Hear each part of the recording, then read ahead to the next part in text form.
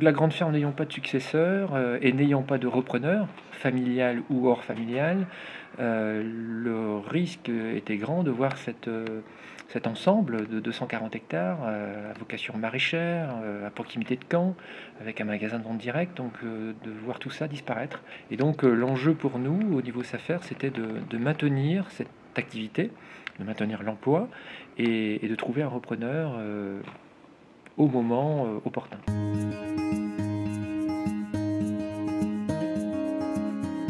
Nous avons décidé euh, de contacter le conseil régional pour avoir un appui politique et financier parce que tout seul, euh, c'est très difficile d'y arriver. L'alternative était euh, ou bien le domaine disparaît dans une vocation agricole autre, voire dans une vocation non agricole, ou bien le domaine était maintenu pour continuer cette activité de maraîchage, ces 23 emplois.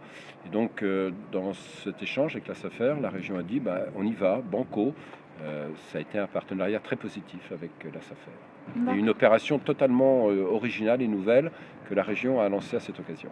Pour nous, c'est une satisfaction, bien sûr, parce que c'est l'aboutissement d'un travail collectif.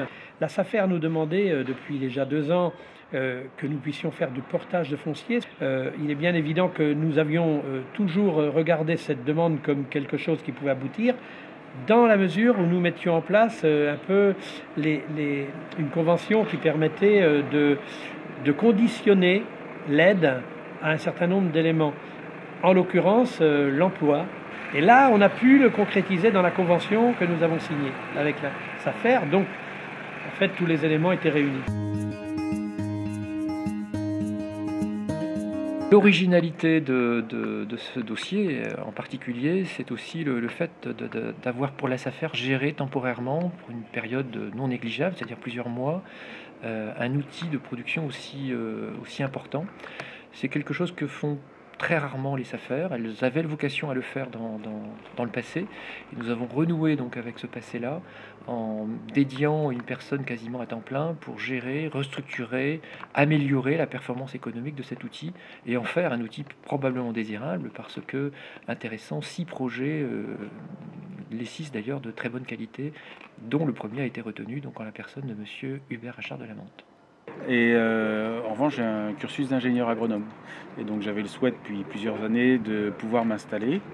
Et donc je recherchais depuis euh, maintenant trois ans euh, très très activement une exploitation agricole à reprendre. Et en avril dernier, la SAFER m'a proposé ce, cette exploitation, ce projet sur lequel je travaille maintenant depuis plus de six mois et, pour lequel je vais travailler pendant 20 ans maintenant. La SAFER, dans mon cas, représentait une opportunité unique de pouvoir m'installer euh, dans la mesure où, on le dit souvent, quand on n'est pas soi-même fils d'agriculteur, c'est difficile de le devenir. Je suis responsable du conditionnement depuis ben, une vingtaine d'années.